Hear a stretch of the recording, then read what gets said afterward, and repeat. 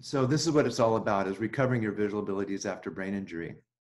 And uh, I think it's important to talk about what the purpose of a visual system is first. And is this coming up for you here? Let's see. Yep.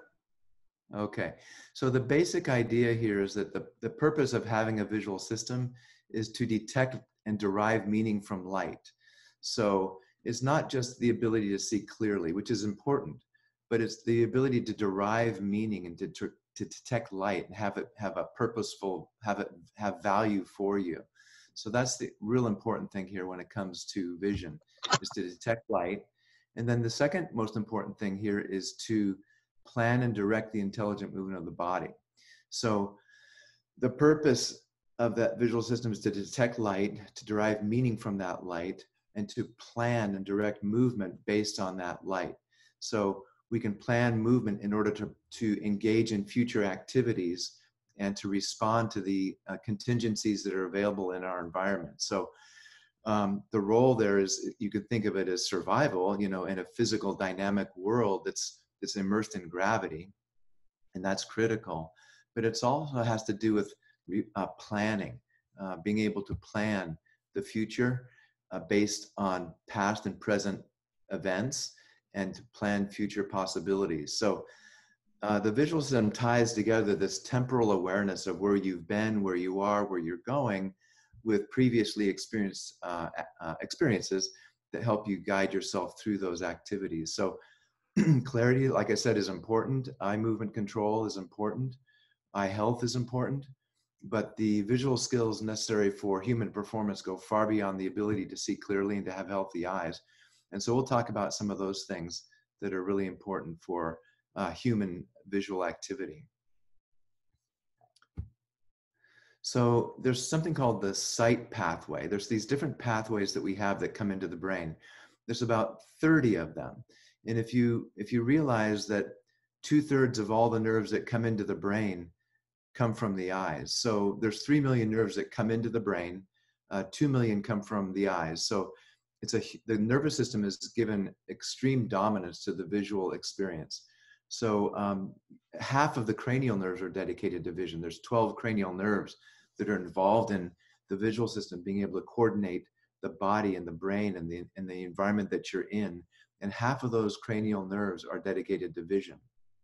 So some of what part of the, some of these 30 pathways I've listed here on the screen. And one's the sight pathway, the one that we typically think of in terms of what we see and experience. But there's also what's called a blind sight pathway. This is a pathway that does not even go to our occipital lobe, the part of our brain that we think of when we see, but it's the part of our brain that sets up a, a spatial construct inside of which we ultimately become conscious. It's a, it's a part of the brain that sets us up for being prepared for the visual events that are about to occur in our visual world. and that's a, a huge pathway. It makes up about 15% of all the nerves that come into the brain. It prepares us for movement, it prepares us for thinking.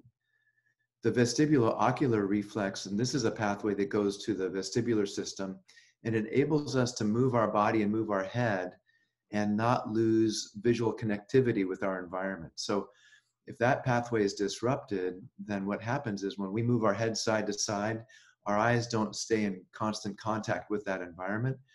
And that's happening at the level of the midbrain.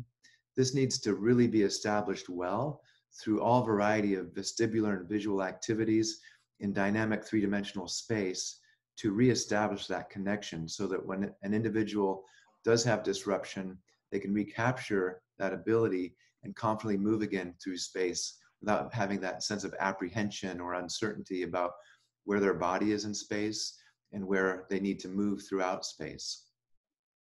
Uh, there's three other uh, pathways that I want to talk about. One's called the dorsal stream, which was the how-to pathway, and the which is the how-to meaning when you look at something, how is it that you're going to move your body to get to that object? Uh, the ventral stream is more of what is it? It's the pathway that it splits from the occipital lobe ventrally to the lower part of the brain and connects with the temporal lobe and parietal lobes for determining not only how to, but what is it that we're looking at. And then the ocular motor pathways, these are the pathways that help us keep our eyes aligned to keep us from seeing double vision. I, I know that one of you here certainly has double vision. And so this pathway has probably been disrupted, and I'll talk a little bit more about that later.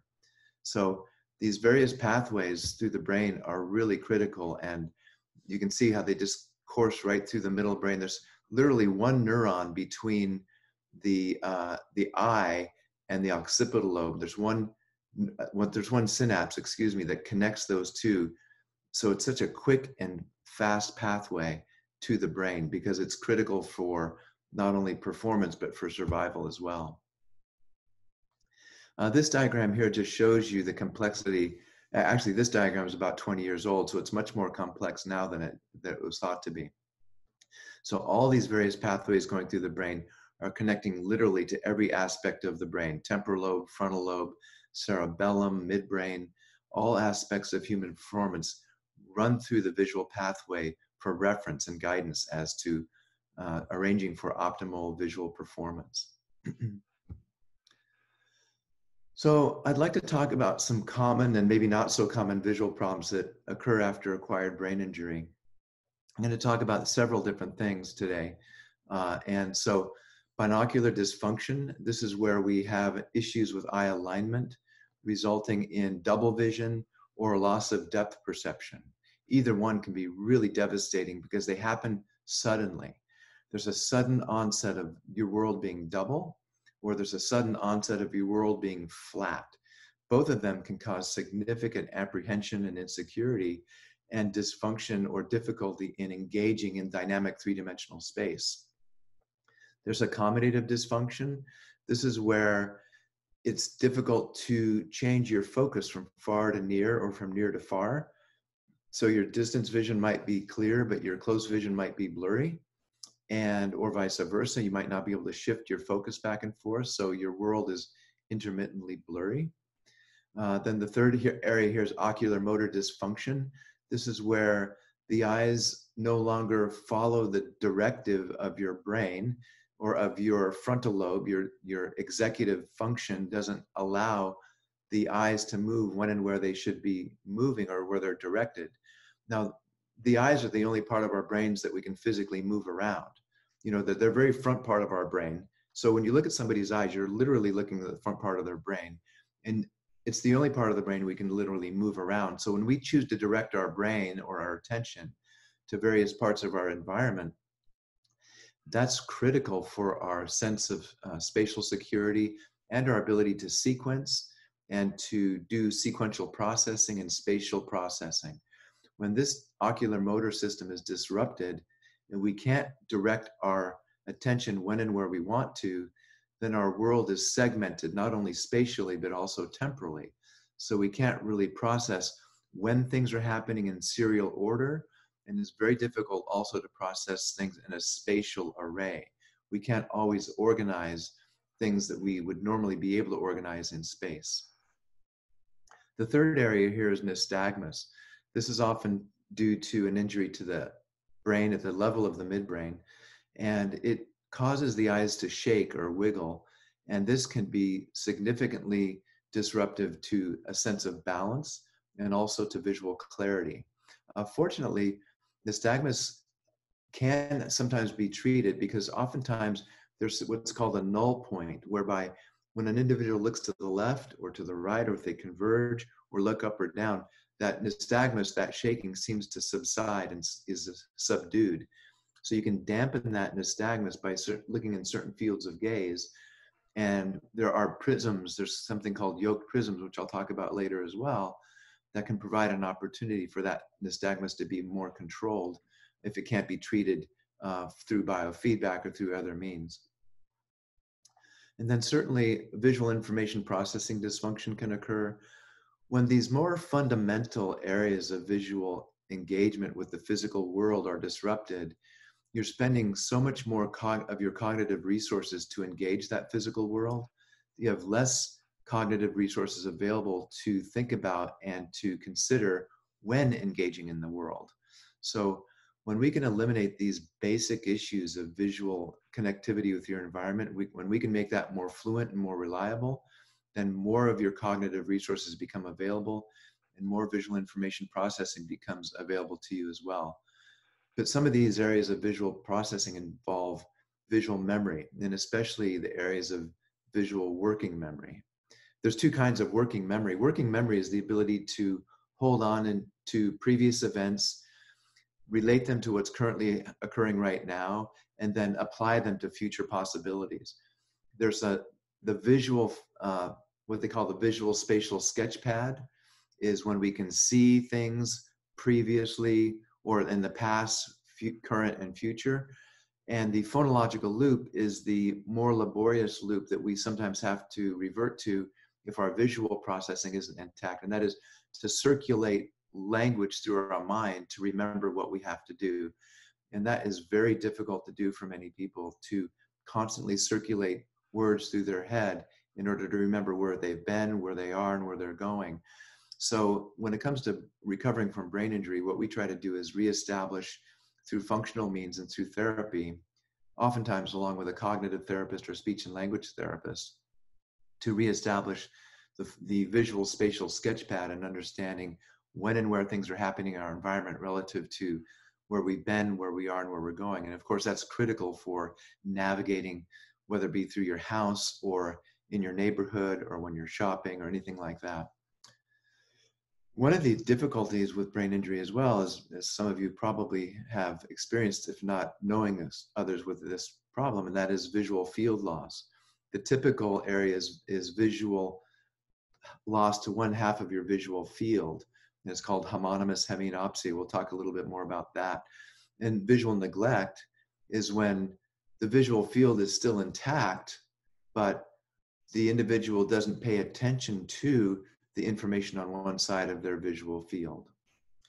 We'll talk a little bit about that as well. And then the visual perceptual midline shift, that's when people no longer reference the middle of their body to their visual environment. So they might think that the middle of their body is off to the side. And when they walk through space, they will misjudge where things are left and right compared to their body. And they'll look as though they're clumsy, they'll hit things uh, and not because of a field loss, but because they, their sense of midline is no longer at their anatomical midline. We'll talk about that further as well.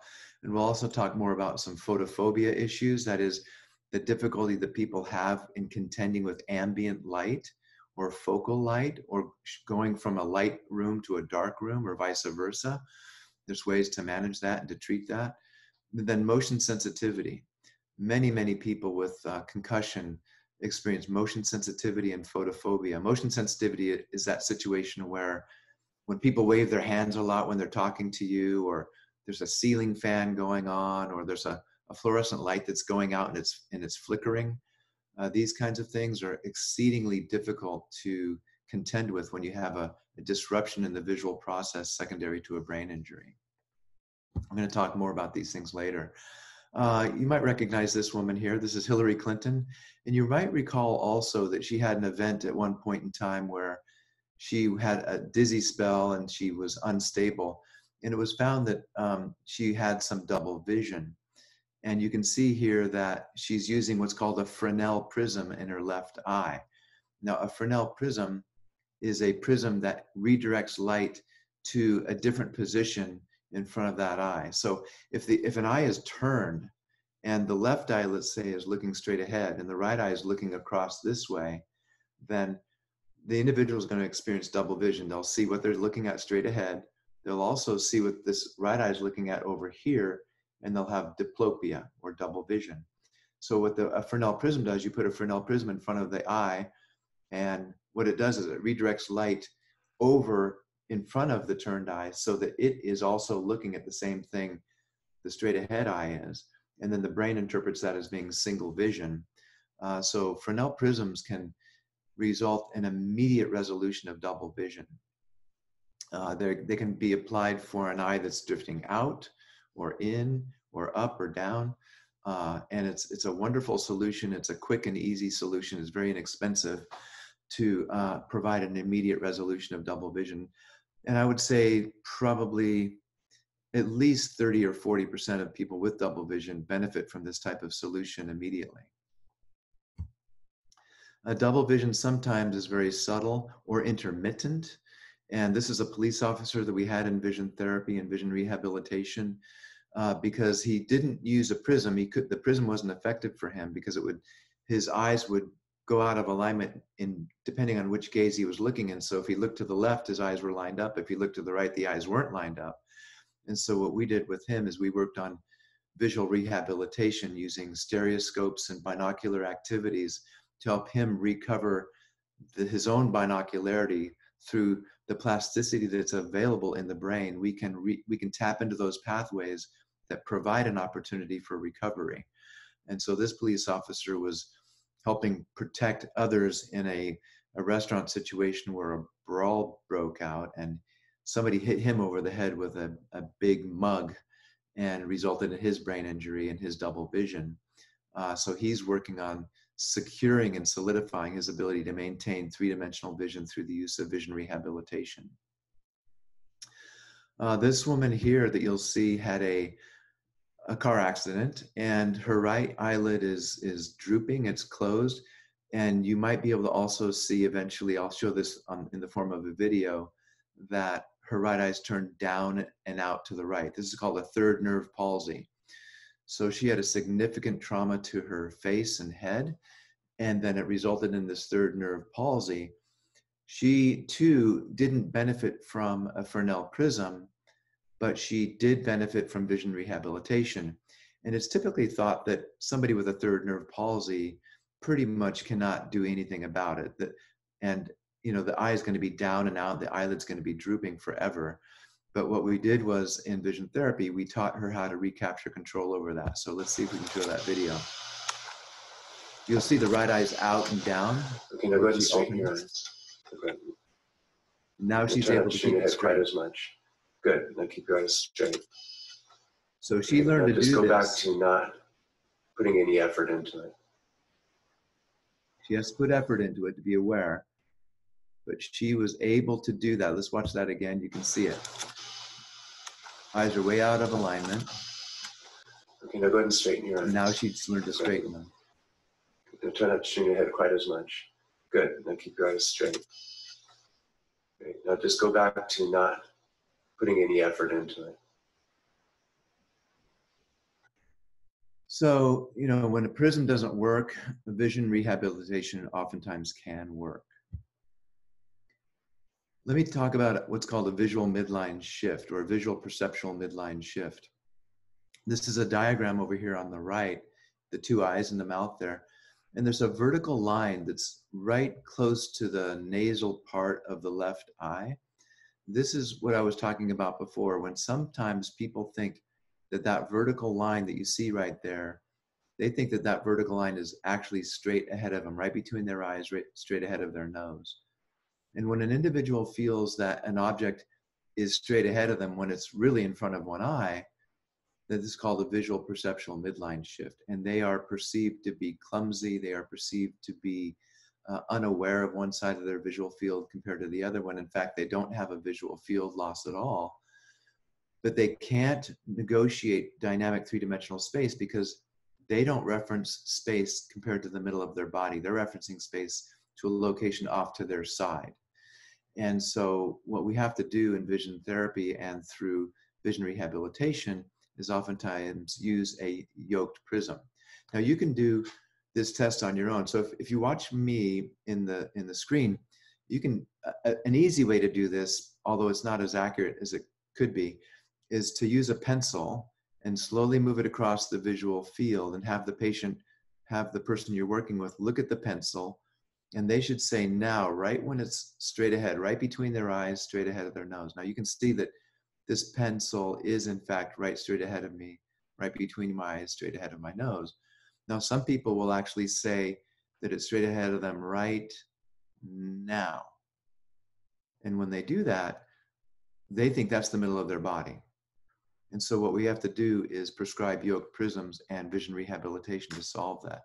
Let me show you another way of testing that. This is called a visual spatial uh, mapping board.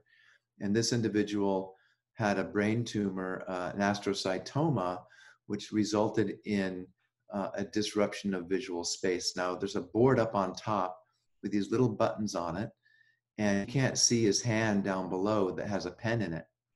And there's a piece of paper on the bottom of this board. And what he's asked to do is to make a dot on the paper that's on the bottom side of this board, right where he sees these separate dots to be. So let's watch this video.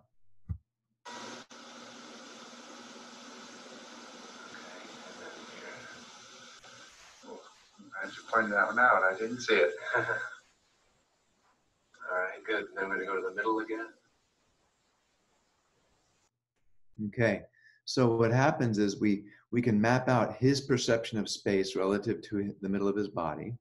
And notice he was able to turn his head, he can turn his eyes, because it's not about that. It's about his visual perception of space with his body and not necessarily the, his head and neck movement or his eye movements. Now, when we when we treated him with this, you'll see what happens with um, yoked prisms. Now, this is when he was walking without yoked prisms down a hallway. You'll see how apprehensive he is and how insecure he is in terms of walking through this space.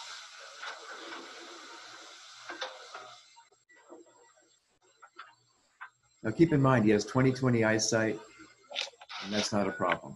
Good. Then come on back. And his physical eyes are healthy but he's very insecure. And this was a he is a fighter pilot in the Navy, so he's very athletic. Very good. Okay, now if we watch what happens when we put on prisms, it's an immediate resolution of that.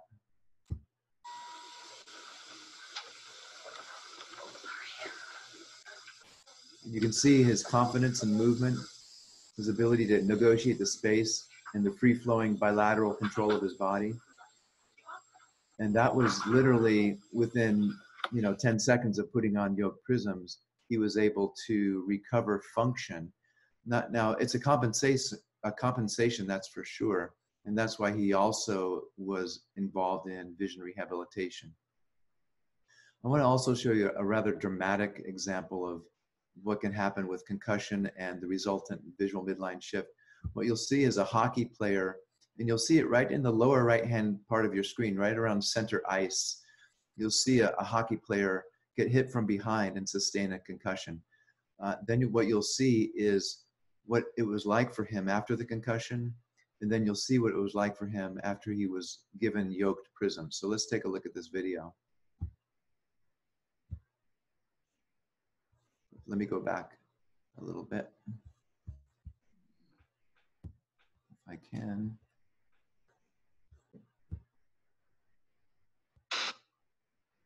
Sorry, hold on one second.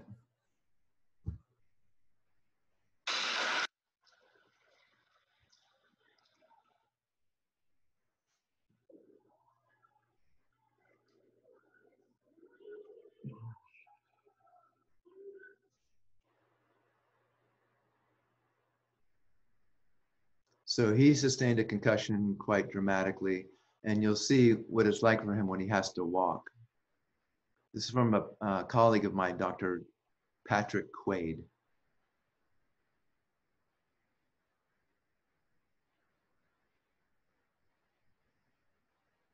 He has a visual midline shift. He perceives his body to be in a different position in space relative to the middle of his body. You might see that he thinks his body is further to the right than it really is.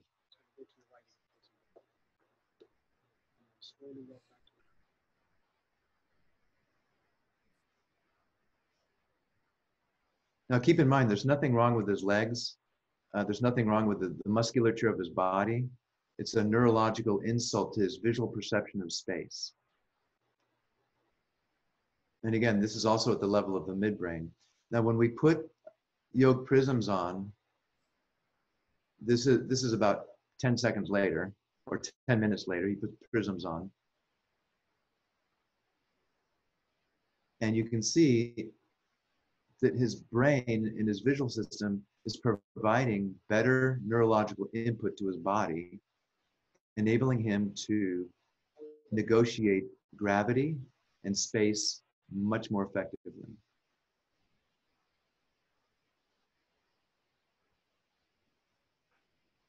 So the yoked prisms were a segue into him recovering better function. Then he went through vision rehabilitation. He spent about 20 sessions of vision therapy. of vision rehabilitation, and now he's doing this without yoke prisms.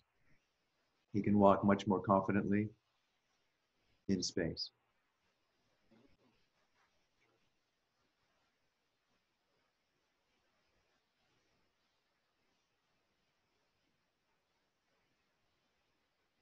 So yoke prisms are a pretty powerful tool and a very important segue into ultimate resolution of uh, visual, visual perceptual midline shifts from brain injury.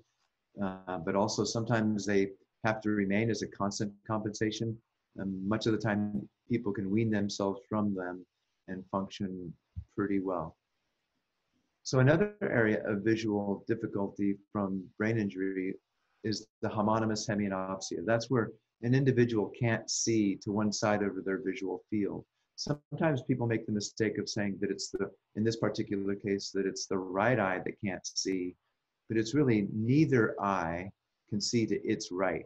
So each eye can see to the left of where their eyes are pointed, but neither eye can see to the right of where each eye is pointed. And so how do we treat that? And I'll show you how we generally treat that. So you can see here, there's a, um, a Fresnel prism in the pair of glasses in this woman's right lens. It's right above her line of sight. And so her, her, right eye is looking just below the prism, but the prism is moving light from her right visual field across over into her intact left visual field. And so when she is negotiating space, she is able to function better. Now, sometimes we will put a prism in both the top and bottom part of the visual field. So the eye is in the middle and it can scan left and right. It has the ability to completely engage the physical world left and right. But the imagery coming from the top or the bottom is moved over into the intact right visual field to signal to that patient that there is something going on that needs to be attended to, and then the individual can look right at that um, information. So here's an example of how that looks, where you have a prism on the top and you have a prism on the bottom that provides an opportunity for awareness. So it's really a field awareness prism. It's not a field expanding prism or a field recovery prism, but it provides awareness of information that would otherwise not be seen in the left visual field and it moves it over to the intact right visual field. Now, when we do vision rehabilitation, we will use various techniques. This happens to be what's called an AccuVision board. So you can kind of see what we do here in, re in regards to sports, well, not sports vision training. I was going to say we do this with sports too. Uh, a lot of our Padre baseball players use this uh, equipment in our office. But the um, for homonymous hemianopsia, this individual is working on becoming aware of targets in his visual field to ensure that he doesn't um, neglect any of them when they come up. So he can obtain better and better scores over time. So we can we can determine his reaction time to various parts of his visual field. Obviously, critically important for activities such as driving, uh, walking through crowded spaces, shopping, things of that nature. Let's talk a little bit about visual neglect. So visual neglect is where we don't have a visual field loss, but we do have inattention to one part of the visual field. Now, in this particular situation, uh, this individual has difficulty with being becoming aware of his right hand. And so what we've done, this is the out of the work of V.S. Ramachandran at UCSD Neurosciences Laboratory and Cognition Laboratory. And he has come up with some wonderful techniques using mirrors. This is one of his techniques where the right hand is inside of a box. You, you might be able to see that box. There's a hole in the box uh, that his right hand's inside of. Hold in his right hand, you can't see his right hand because it's inside the box. What looks like his right hand is really the image of his left hand. And so when he's moving his left hand, he looks into the mirror and it's perceived as though his right hand is moving. He can't move his right hand very effectively. He tends to neglect that side. But when he starts to initiate movement with his left hand and he sees his right hand, what he perceives his right hand to start moving, it begins stimulating spatial awareness to that visual field. And it also begins stimulating awareness of the ability to move that right arm. So it's providing an opportunity for him to become aware of the right side of his body through visual imagery that's provided for and stimulated by his intact left side, his left hand, while looking into a mirror. So this is a wonderful technique that's been shown to be very helpful for lots of people. Uh, we use a similar technique for those with autism who, who we might think have difficulty with mirror neurons, where they can't really um, appreciate the intentions of others. So we put a half silver, silver mirror in between ourselves and that child, and we engage in activities so they can actually see themselves reflected onto us, and they begin to appreciate um, that ability to understand the intentions of others. But that's a different topic. But this is for visual neglect through vision rehabilitation. Now, photophobia and motion sensitivity is, is a big issue. Like I said, especially with those with acquired brain injury from concussion, uh, because it's a global injury. And that global injury disrupts all variety of pathways to the brain. Like I mentioned before, there's about 30 different pathways, probably more than 30 pathways now from the vision, from the eyes into the brain and throughout the brain. And that disruption really results in significant issues with movement and light. So many people find that using a sunglass that's very complete, uh, this pair of sunglasses here has a, a covering on the top, side shields. It's not as low as I'd like it to be, um, but this is a kind of lens that's not even as dark as many people like to be able to recover a sense of engagement in a normal lit room. And so sometimes we have to have a very specific color that is specific to that individual's needs. There's various disruptions of the sympathetic and the parasympathetic nervous system. And these, the sympathetic and parasympathetic nervous system in the brain respond differently to different colors of light. So we use something called colorimetry, which is a form of syntonics that's enabling people to recover a balance between sympathetic and parasympathetic nervous systems. And so we test that with colorimetry and we come up with a tint and a density that's optimal for that particular individual.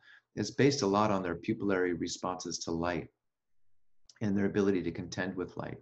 So um, this is a pretty good pair of sunglasses for that. Could be a little darker. He could also be wearing a hat.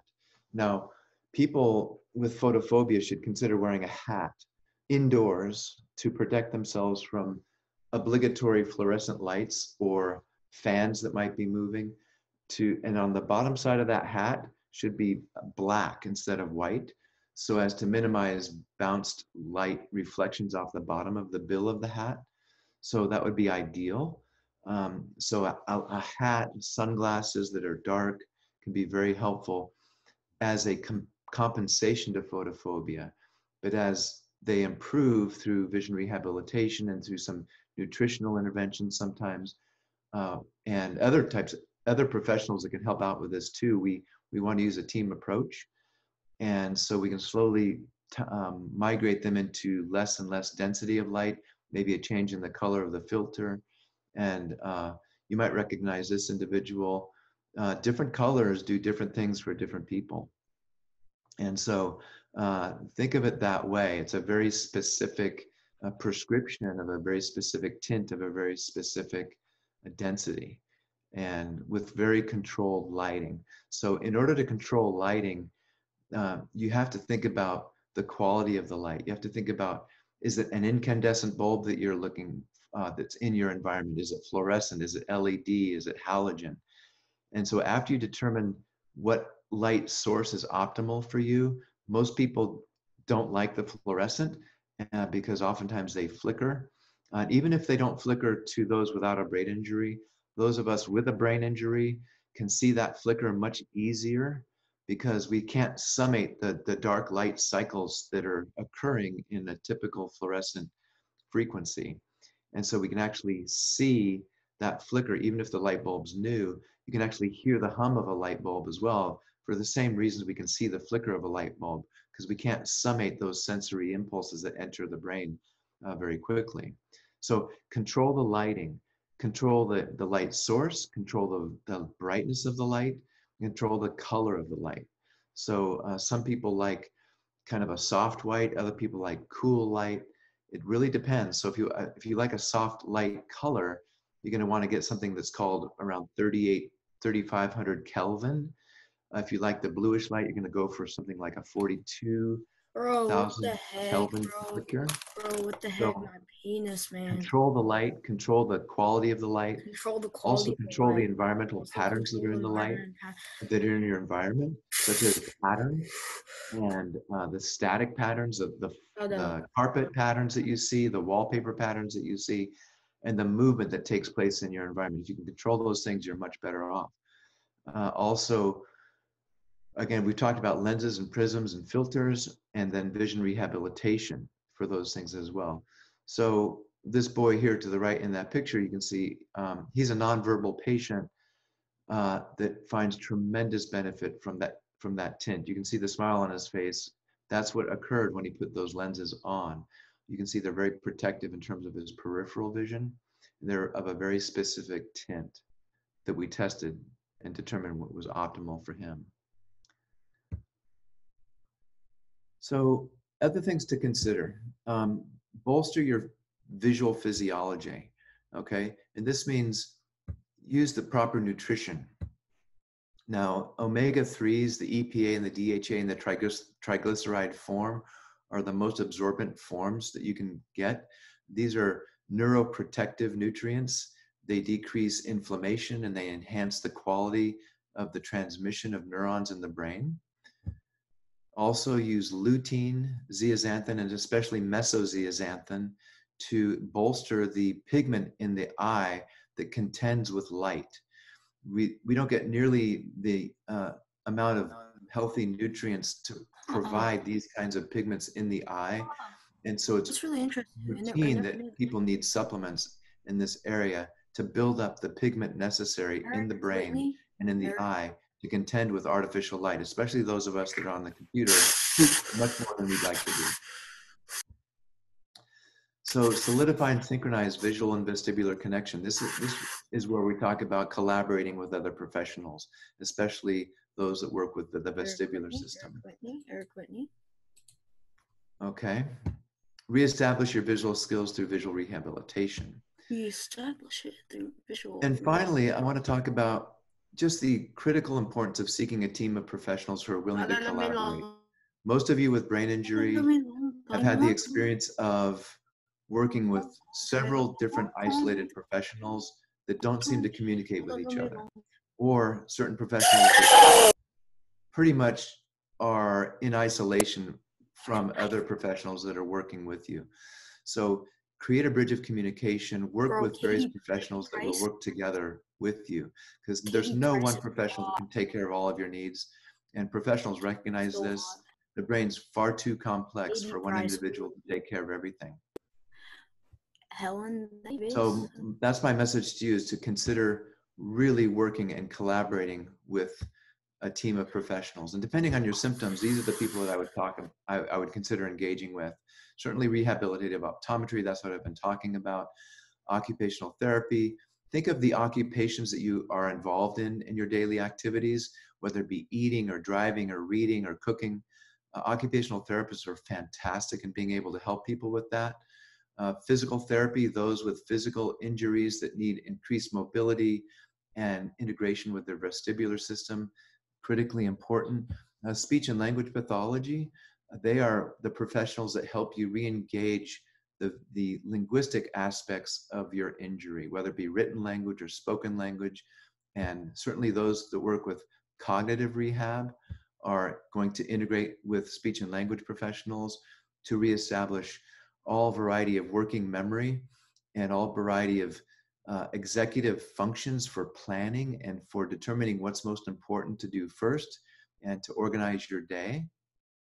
Psychology, of course, is critically important for those that are obviously having issues with um, the emotional turmoil and the, the anxiety that results from a brain injury. And also, we have neurootology. Uh, this is the a neurologist that is specializing in the vestibular function and its relationship to the body and the brain and the visual system, and ensuring that there's integrity between those systems so that these other professionals can do their work in reestablishing coherence between them. A nutritional specialist, whether it be a dietitian or other nutritional uh, specialists, should certainly be a part of the plan here in regards to recovery. Uh, there's things that can cause all variety of issues post injury that didn't cause problems before. And there's nutritional considerations that will really bolster your recovery. Osteopathy, extremely important as well. They maintain the integrity of the, the, the brain inside the skull and the dura mater that travels all up and down your, your back, ensuring that all the nutrients from the brain flow out. So all the metabolic debris can be circulated and all the nutritional components of the cerebral spinal fluid can flow to all parts of the body and brain. Exceedingly important. Chiropractic there's all variety of chiropractors and depending on your particular needs you want to seek out a professional that has expertise in various areas of chiropractic. And then finally i mentioned something that maybe some people don't think about and that's podiatry. You know the foot is the primary contact we have with the earth when we're walking or with our physical the ground itself. And the proprioceptive nature of that foot its sensory abilities its motor abilities are all critical because that input from the foot goes all the way up into the body and then the brain has to consider what the feet are doing in order to then secure a confident relationship with the space around that person so if I were to create a dream team of people to help you with your uh, brain injury, it'd be this group of people right here. I might have missed some, but these individuals here should all be able to refer you to those in the on the list that you might not have had an opportunity to to reach out to and to work with. So please consider all these individuals when it comes to your recovery. So it's really a team approach to uh, recovery. And so you kind of need a, a, gatekeeper to do that. And so we, we can do that for you, certainly. And I think anyone on that list that really has a professional perspective of collaboration can also do that for you. So I'd like to be able to um, take any questions uh, that anyone might have in regards to what I've talked about. And so let's go ahead and do that if, if people would like to do that. Okay. Yeah, we'll uh, we'll open things up uh, here now for anybody that uh, has questions of Dr. Hillier, and thank you so much for that comprehensive presentation. It's really good information. Um, and so, if you know how to raise your hand, uh, what I'll do is it's helpful if you keep yourselves muted um, until you're called on. But if you know how to raise your hand, um, I'll call on you. If you don't, uh, you could just physically raise your hand. I have a hand raised with Meredith. Meredith, uh, go ahead. I'm going to unmute you right now. So there you go. You should be. Go ahead and unmute. There okay. Um, I was wondering, thank you, by the way, doctor, for all that information. I took like five pages of notes. You're welcome. um, because they don't tell you about the importance of, of vision and the brain when you have a brain injury. Nobody mentioned that to me till 20 years later. So I appreciate all your information. I wish I had a care team like that. Um, it's hard to get. But I was wondering what um, if you can explain osteopathy a little more. It, I know it has to do with met, metabolic uh, changes. Well, osteopathy. Yeah, there's different um, like within all of our professions so i'm a rehabilitative optometrist and so you know there's different kinds of optometrists there's behavioral optometrists there's developmental optometry you know so within osteopathy it's it, there's a similar uh, diversity in professional emphasis and so the, the type of osteopath i'm talking about is an individual who works with cranial sacral uh, therapy and they ensure that the the cranium has sufficient mobility to provide um, mo- movement of the cerebral spinal fluid up and down the spine to provide nutrients to all aspects of the, the neurology of the body and the brain. So that, that's my first interest in osteopathy is to do that.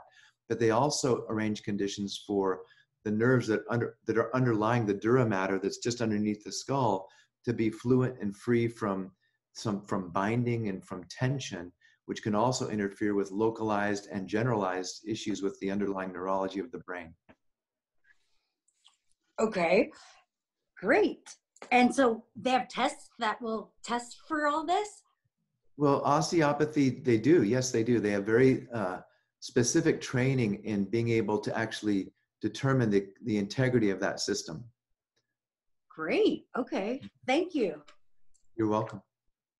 Thanks. Uh, Sam, did you have a question? Yes. So I'm realizing that I am double vision. Okay. I No. have the um, arteriovenous malformation. So um, can you repeat that last part, please, Sam? I suffer an AVM, arteriovenous malformation. Okay. Yeah, so that can interfere with the, the cranial nerves that are responsible for keeping the eyes lined up. and so is the double imagery constant in various fields of gaze, meaning are the images separate the same distance no matter if you look up or down or No, left? they, they happen when I'm tired. Okay, so sometimes the, your eyes are aligned, but sometimes when you get tired, you see double. Yes. Okay, so you might benefit from some either some prism to keep you from being tired, or some prism when you do see double that you can put on temporarily so that you don't see double when the during those episodes of fatigue. Hmm. Or a third route would be to actually rehabilitate or build up the control that you have over those muscles so that when they do get tired, they don't succumb to the double vision. I see. I have no, how to put I never worked a job in my life. Okay. Well, thanks, Sam. Uh, I, I, I hope that was helpful. I have another Yeah. hand. Um, Helen. Helen, you can unmute yourself. I can unmute you too. Helen, did you have a question? One second. I don't, don't see Helen talking. Tim, did you have a question?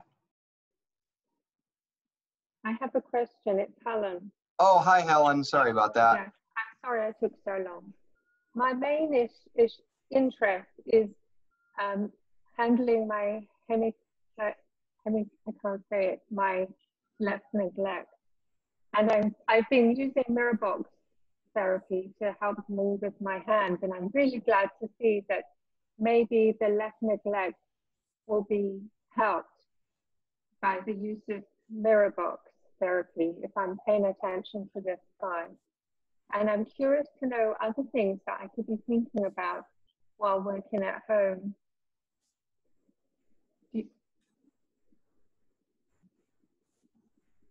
I'm sorry, I can't hear some of what she's saying. What kind, what kind of things do you suggest to your patients to use if they're trying to work on hemi neglect? Okay, so first of all, we try to arrange conditions for there to be ongoing reflexive stimulation of that side of the visual field that you're neglecting. So we can do uh-huh. that, you know, emphasizing that part of your visual field by amplifying the input to that side with prisms. Yoke prisms sometimes can amplify the the rate that things move and the uh, the distance that they are from each other. It kind of magnifies and amplifies the movement on that one side to stimulate that side. So that might be an ongoing opportunity that's it's kind of a passive approach, but you have it on there all the time. That might be one thing. The other thing would be to uh, taking a mirror home sometimes and using that mirror on a routine basis to stimulate awareness of that left side. If I think you're saying it's your left side. Yes, Yeah, thank So, you very uh, much. you're welcome. So maybe arranging my space so I have to keep looking to the left in my ordinary activities in the day. Right, and you're also Yeah. seeing the value and the importance of it. You want to engage in activities that require attention and kind of a survival situation where you have to really do it over there. Yeah. Okay. Thank you very much.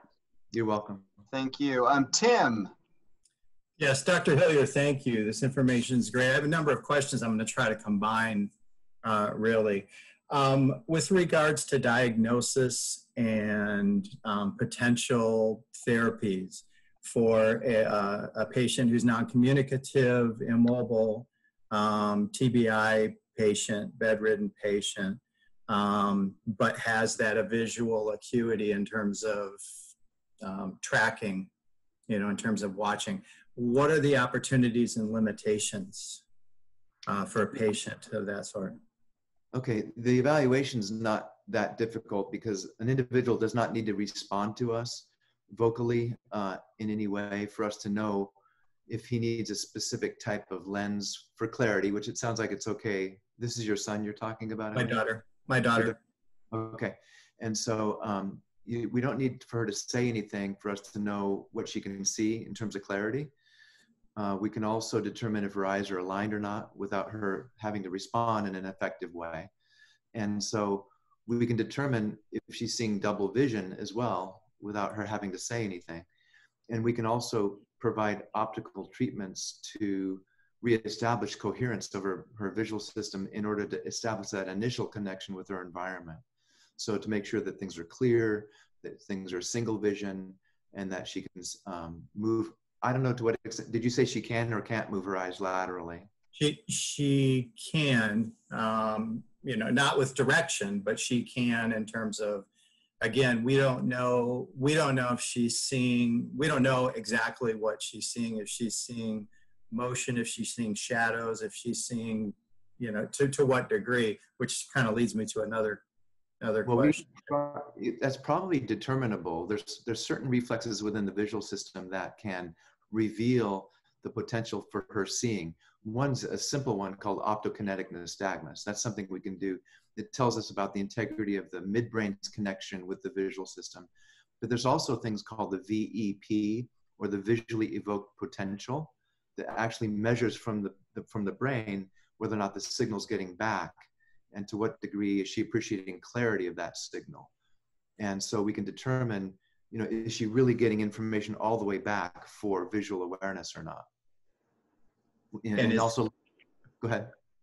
Oh, is, you- know, to determine that, is that um, via, you know, some type of functional MRI or to see what activity is going on or is uh, how not to, no it's not a functional mri it's called a vep okay, so visually evoked potential. And so Okay. recording electrodes are on the back of the head got it. and information is brought into the eyes in the form of a checkerboard. And then we record from the back what she sees from the front. Got it. yeah. And so that's one way to do that.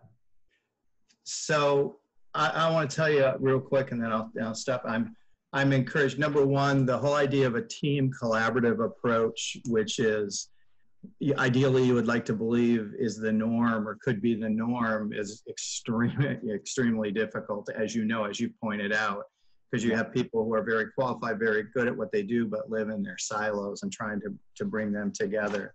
Um, I think also where I'm encouraged listening to you, would love to have more conversation at another time, is we run into other therapies, physical therapy, occupational therapy, speech therapy, that um, without actually getting a, a response to a verbal command, determine that um, that nothing can be done, that they can't do anything, and so it's really limited in that way. So. Um, I mean, it's encouraging that there are things that can be done without necessarily being verbal or being mobile too. Right. Well you can even sometimes determine an individual's response to vocal information by looking at their pupils. You know because there's a there's a neurological physiological response an emotional response to certain input whether it be vocal or visual that's reflected in the pupils. So if a pupil changes size, that's telling you something that there's there's activity and there's a, a response to what's being spoken. Thank you. You're welcome. Wow, thanks, thanks for the questions, Tim. Um, we did have uh, um, Ju- uh, Justina put up um, a question. I'm not sure I understand it, but Dr. Hillier, maybe you can add some um, insight to this. She said, Dr. Hillier, I, I have some double vision, but also brain tumor behind my left eye.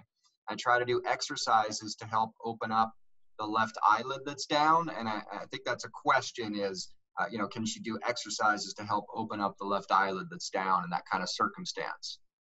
Okay, well, it, I would need more information to answer that really Uh, specifically, understood. but you know, there the if the eye if the nerve that's traveling to that muscle that lifts the eyelid up is disrupted mechanically, then there's a limitation to the degree that you'll learn to move the eyelid up.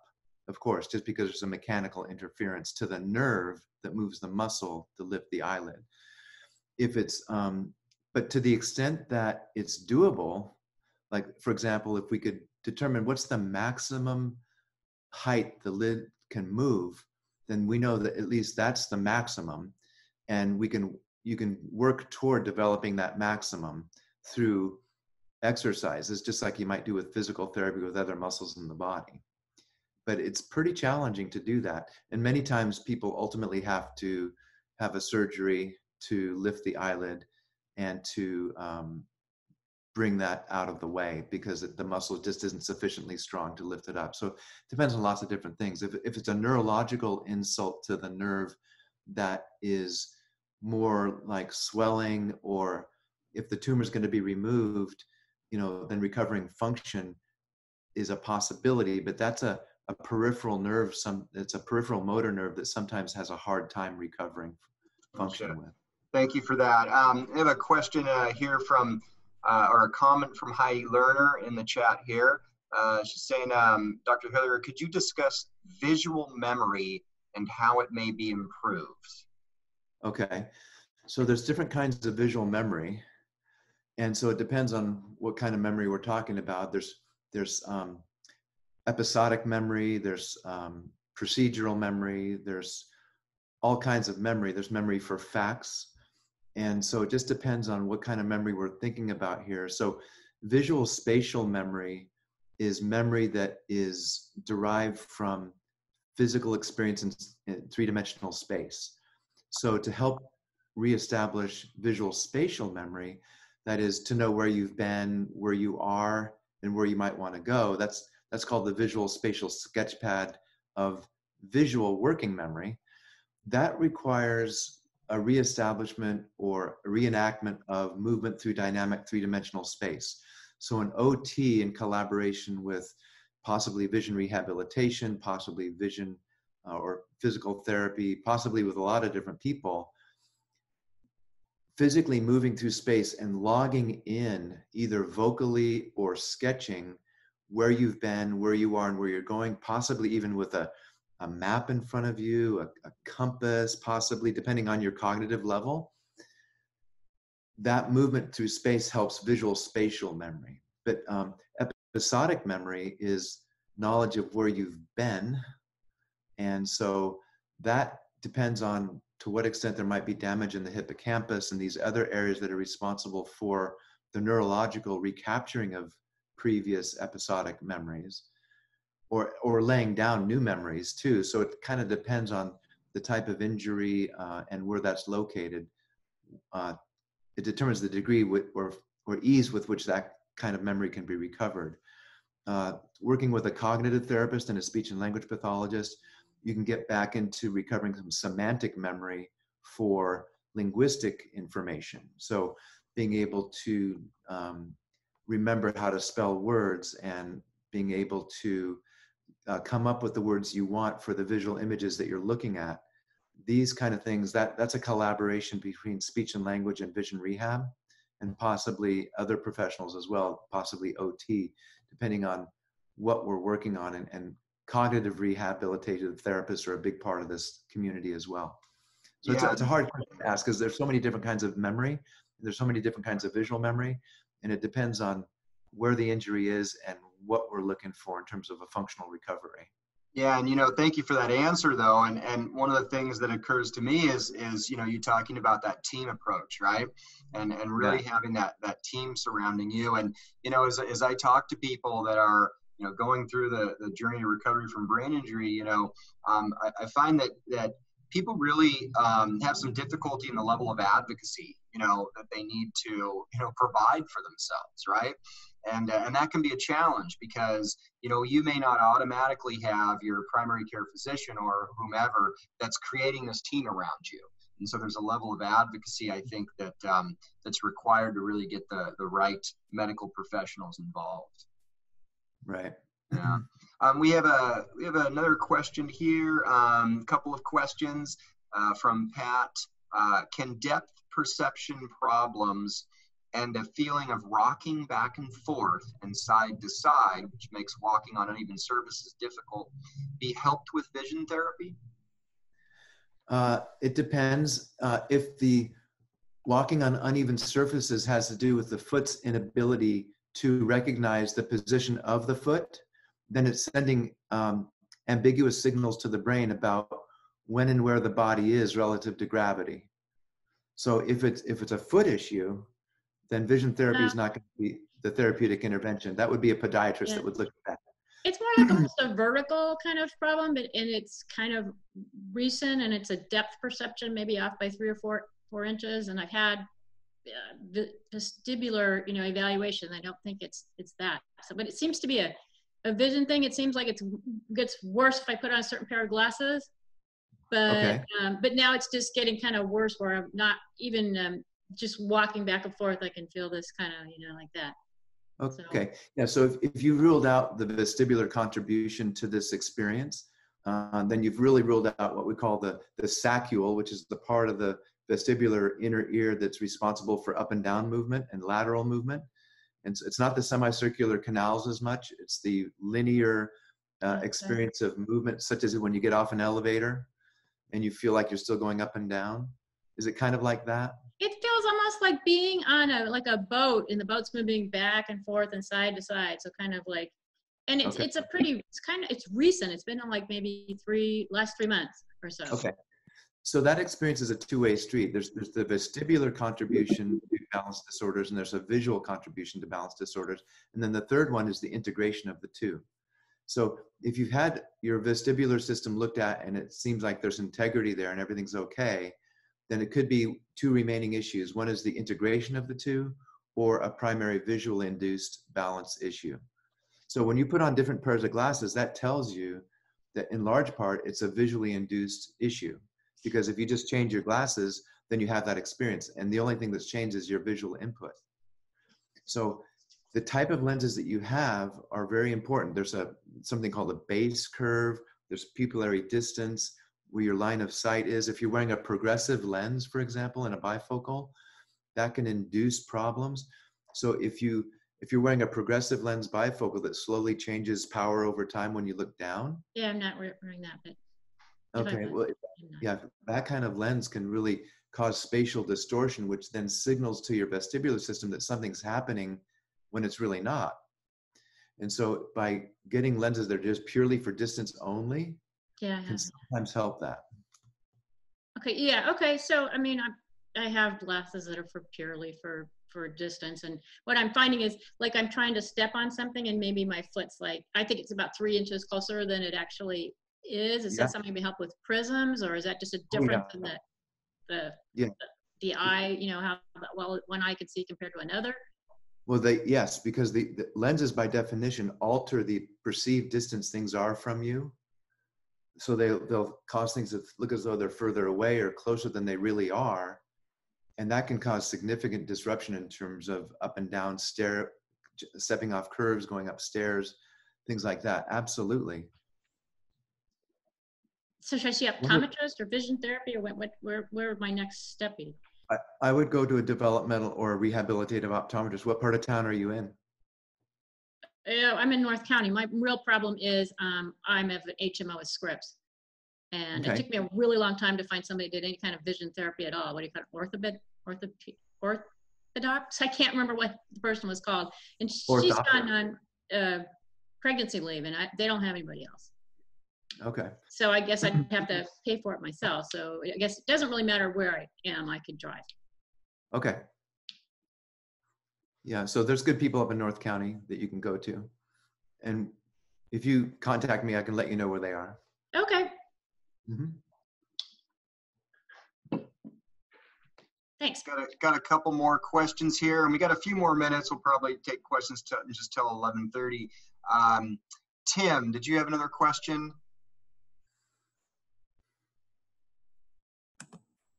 Real quick, because uh, Kurt, you touched on the advocacy uh, piece, and Dr. Hillier again, this whole idea of the team approach.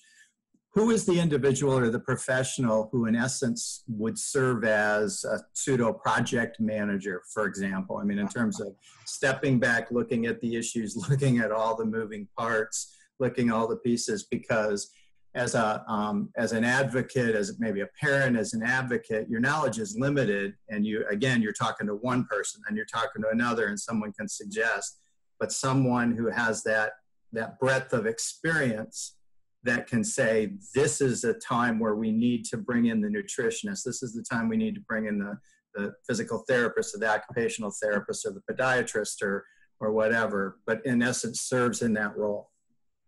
Well, the in a hospital setting, when somebody's in a, uh, a rehab clinic, for example, it's the physiatrist. Okay, That's, that's basic. Basically, their title is a physiatrist. right. right On right. the on the East Coast, they call them physiatrists. Right. Okay, but um, on the West Coast, they're physiatrists. Typically, they're they're kind of the coordinators of all the different medical services that are available and all the rehabilitative services that are available. And depending on their experience and their their the range of uh, knowledge that they have about re- rehab, they'll be able to do that for you. Okay. Yeah. I I was wondering that if that was, I'm familiar with that, and actually I've met with a physiatrist once, so, okay, thank you. Thanks, You're. Tim. Um, a couple other questions in the in the few minutes we uh, have left here. Um, so after uh, one second, after I think this is probably a fairly common question. After a severe traumatic brain injury, does double vision sometimes improve on its own? How many months, years does healing take place? And uh, you know, I think that's a that's a difficult question to answer, right? In terms of uh, you know how many months, years. But we you've talked about brain plasticity. We, we hear a lot about that. Do you have any comments on that? Yeah, uh, what you typically hear, the, the blanket response to that typically is if it's not better in six months, then it's probably not going to get better. Yeah. I mean, that's what you hear. And, but I think that's kind of a, an easy way out, from my opinion, to say that. I think things can be facilitated and things can be known much sooner. So, for example, if you have double vision and you're, you know, one month out from your injury, why not treat it now instead of wait and hope that it gets better? And you can you can treat it now with Fresnel prisms like I showed you before. They're just really quick. You cut them out with a pizza scissors, you put them on the glasses, and there's no more double vision. It costs about twenty dollars, and you're done. Now it's not that easy, but it's it's not that difficult either. And so when I went to the uh, rehab hospital at Alvarado, I would just have a big kit of those things, and I would be cutting those out and putting them on people's glasses all the time and so and patching an eye is i know that um, there's a, an attendee here whose son has his eye patched and that sometimes is necessary but instead of a patch sometimes a prism can redirect the light into that turned eye to reestablish single vision instead of just patching the eye and, and, and letting it do its thing. Because the brain wants to recover and if you give it an opportunity a little bit of help to recover it likes that and it takes that on as an opportunity to do whatever it needs to do to recapture fusion of those images. So, um, engaging in activities that obligate the eye to move. So, for example, if this eye is out of alignment and I cover this eye and I look straight ahead at the computer and I turn my head like this, it's my vestibular system that's driving the movement of my eye, which is a very primitive system, which is where we start. So we just want the, the reflexive stimulation of the brain to cause the eye to move. Then later on, we'll have the eye move on a target. And then all the while, we're supporting that with prisms that help reestablish eye alignment to the target with the fellow eye. So in other what I'm guessing what I'm saying is that um, six, maybe six months, if nothing happens, then nothing's going to happen. But that's if you don't do anything.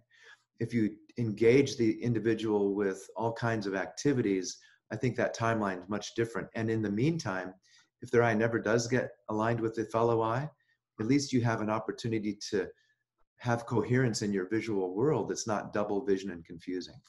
Yeah, good response. Thank you. And a couple, a couple more questions here. Um, and uh, this one I may not be able to, to say correctly, but uh, let's ask, uh, can there ever be a confusion in diagnosis between a visual neglect and homogeneous hem- hemophilia? And you can probably see that as well. So you could say it better than me. I don't know what that is. yeah, so uh, yeah, there's a, a lot of confusion between uh, homonymous hemianopsia, which is a, a field loss to one side of your visual field in each eye, and visual neglect. So it's, it's sometimes challenging to discern between those two, uh, but there are ways to do that. And so it's important to know that. You can also have, um, you know, both together sometimes. So it's really a complex situation, but it, you can discern the difference between the two, and then the functional resolution is different for each one. Yeah, no, thank you for that. And um, someone asked here, um, and I think they just sent it to me. Uh, just bear with me. Um, oh, okay, now I don't don't see it now. I think that comment disappeared. Oh, if balance is an issue, what's the name of the doctor uh, to go see? And I think we're talking maybe are we talking about vestibular, um, you know, therapies and things like that? What do you have any comments about that? Because I know that you deal with balance issues, right? Yeah, balance issues are probably the the biggest multidisciplinary group that you yeah, want to go to. So you want to rule out uh, organic neurological injury first. And so I like Ian Purcell personally. Um, he seems to be really comprehensive in his assessments of the integrity of the, the, the vestibular system. He rules out tumor, stroke, you know, injury. And so he's a good person, I think, to go to right off the bat. What's his discipline? Uh, neurootology. Okay. Now, there's also Dr. Viirre at UCSD who does the same thing.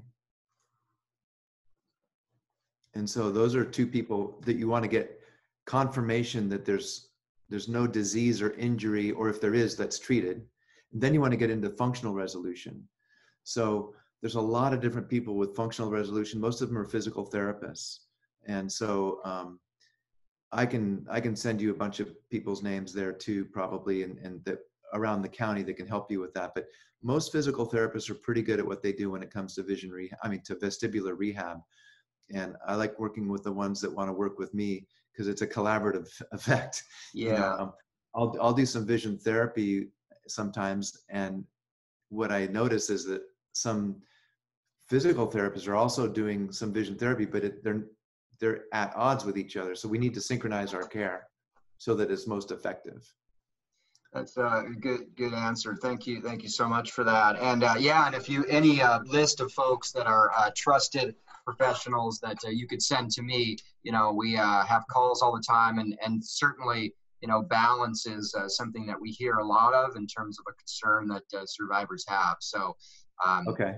Appreciate that. And um, someone had a question here. June had a question. Does Prism work well after a person's had a stroke. Uh, she said they, they gave her a headache.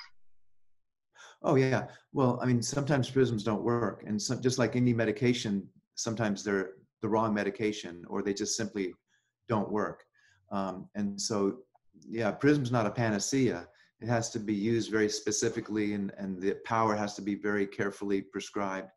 So, sure. I mean, if you have prism to compensate for double vision, it has to be very carefully applied. If you have prism to reestablish movement through space because you have a visual midline shift, that that too has to be carefully prescribed. And if you have prism because of homonymous hemianopsia, that's a different kind of prism. So it just depends on the prism and the nature of the problem and the amount of prism and the type of prism. So yes, by all means, I've had patients who I prescribe prism with, and I think it's going to be great and it's going to solve all their problems. And they come back next week and they have horrendous headaches. And I understand that. And so you have to be very careful with it and you have to prescribe it uh, in a way that's kind of a gentle approach to, for maximal efficiency. Yeah. Yeah. Well, thank you so much for that. And I, you know, I just have a comment in the in the medical world. Sometimes, you know, we talk about, um, you know, bedside manner, and I I can't imagine a, a better quote unquote bedside manner than, than what you have. And you know, your willingness to spend some time here today and answer these questions um, is just incredible. And